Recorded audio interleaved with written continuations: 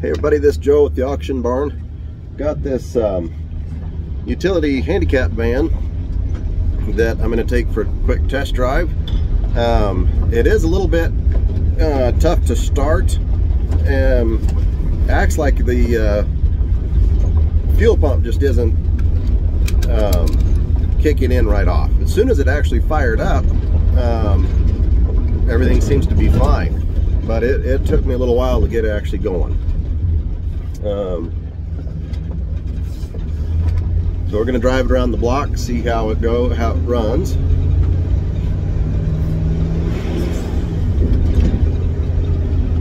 Driver side window, passenger side window works.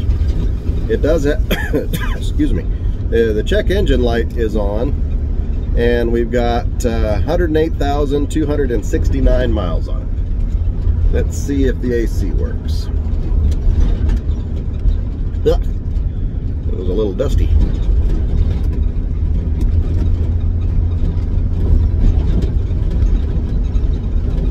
It seems to be running fine. I just, like I said, it, it um, just didn't want to, it didn't want to quite um, catch when we uh, tried to start it here. It has been sitting for a couple of weeks, but uh, Luke said every time he moved it, it would take a few times. He'd crank it and it would fire a little bit and then quit, and uh, he'd wait, crank it, and it would kind of catch and start firing, and then it wouldn't. It wouldn't, and he'd have to do that a few times before it actually kicked in. And that's the same thing I ran into. Um, you know, I would turn the ignition and uh, run it and it would it would engage for a second like it was getting ready to start and then nothing. And uh, I finally put the jumper pack on it. The battery seemed to be fine but I did put the jumper pack on it and uh, that seemed to help gave it just a little bit extra boost to turn a little faster um, and that that fired in pretty quick. So I'm just listening now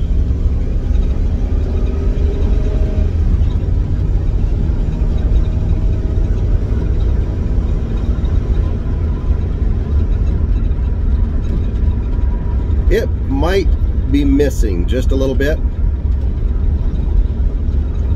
on one cylinder. Um, AC doesn't seem to be kicking in just yet.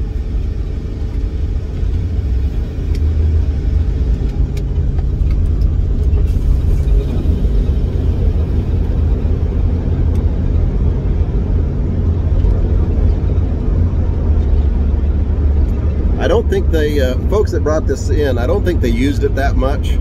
And so some of these issues that, like the missing, um, having a hard time starting, some of those might just go away with some, some good driving. Because um, I don't think they actually drove this much. It had been sitting for quite a while.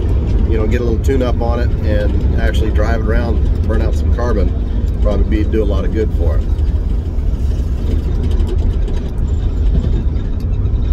So there you have it, guys. I'm going to go ahead and pause this video now, and uh, through the magic of video editing, all of a sudden you'll see me doing it, uh, the test on the back door, and uh, we'll show you how that works.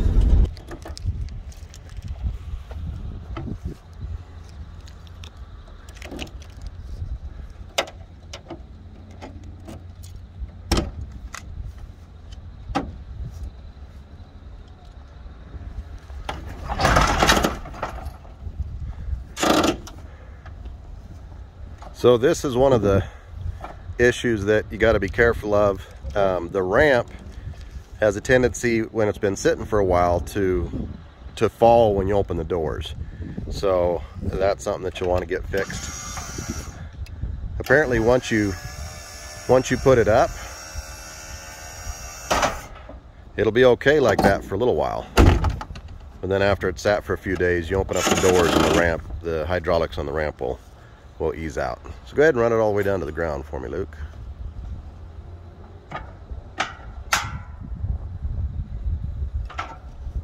couple of pieces are Oh, it's got a couple loose. anyway. Okay.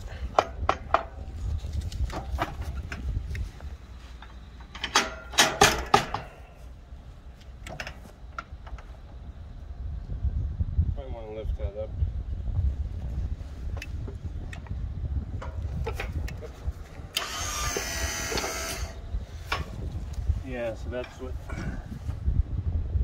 Oh, that's it- what. This is supposed to. Uh, Right. I think it needs to be hooked on.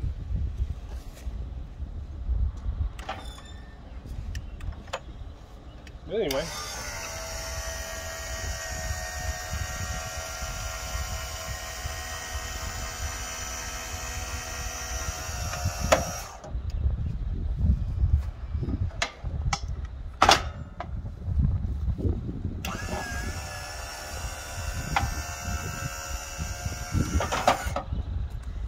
Okay.